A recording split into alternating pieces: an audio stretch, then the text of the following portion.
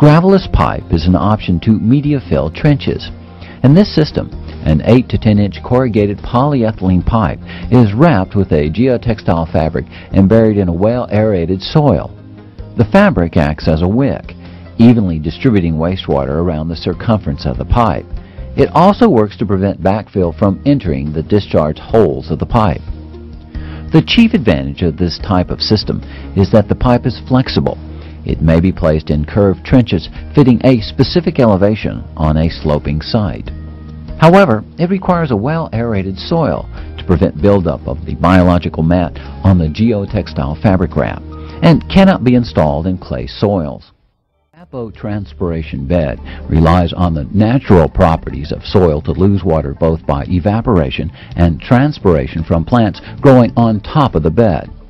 An evapotranspiration bed is a bed of sand with trenches in the bottom for storing the water until it's evaporated or transpired by the plants. Evapotranspiration beds are used in areas where soil will not properly treat wastewater before it reaches groundwater sources, or where soil will not allow water to move through it. These systems are designed based on rainfall and expected evapotranspiration rates. These beds can be either lined or unlined, depending on the permeability of the surrounding soil. Gravelly sands and karst soils require a liner. This can be made of natural clays, synthetic lining, or concrete. Unlined beds are used for impermeable soils like clay. Plant cover is essential for the proper function of these systems.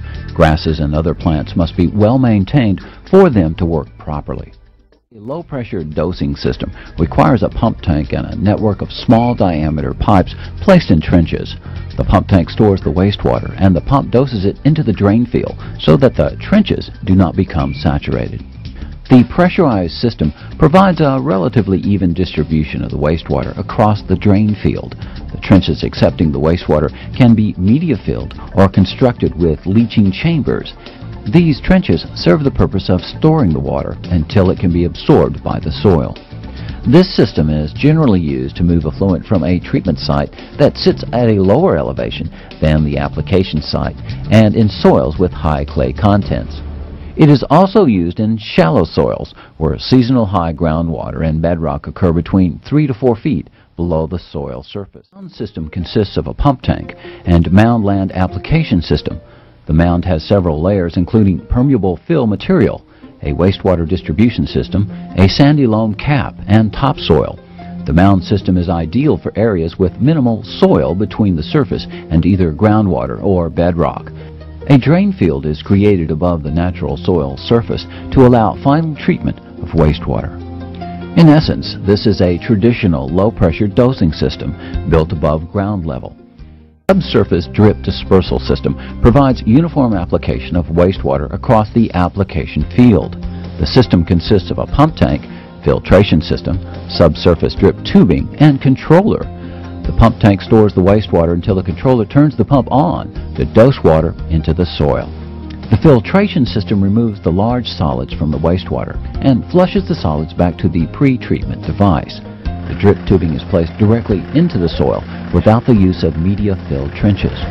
The system relies on drip tubing with emitters to reduce the water pressure before it enters the soil.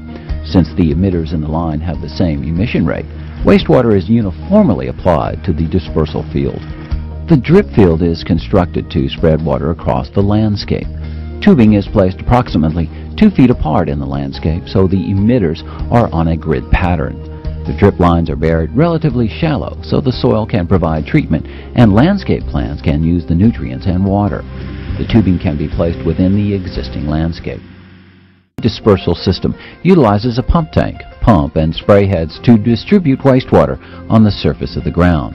The pump tank stores the water until it is time to dose the water to the spray area. The system can either be an on-demand system, which sprays the water whenever the tank is full, or night dosing system, which holds the water until night, and then the water is dispersed. Most residents prefer a night dosing system when the effluent will be sprayed in the landscape.